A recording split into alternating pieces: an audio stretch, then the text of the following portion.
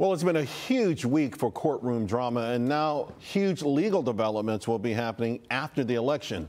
Trump's New York sentencing now will be on November 26th, and Hunter Biden's sentencing will be coming in December as many wonder whether a pardon will be coming for him soon after.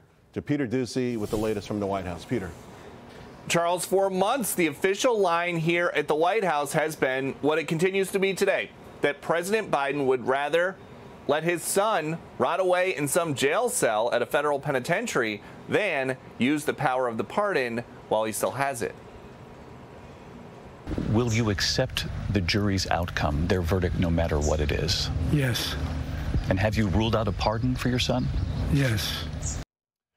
Hunter is going to be sentenced now in December and says I will not subject my family to more pain, more invasions of privacy, and needless embarrassment. For all I have put them through over the years, I can spare them this, and so I have decided to plead guilty. And it's worth noting that White House officials this week are warning of Russian disinformation in this presidential election.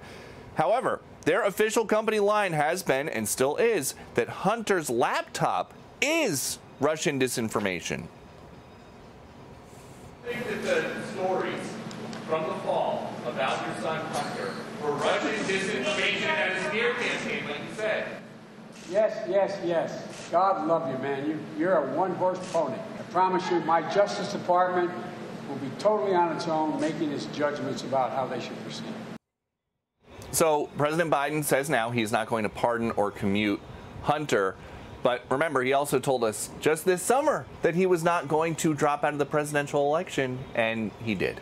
Charles. Peter Doocy, great points at the White House. Appreciate it. Hey, Sean Hannity here. Hey, click here to subscribe to Fox News YouTube page and catch our hottest interviews and most compelling analysis. You will not get it anywhere else.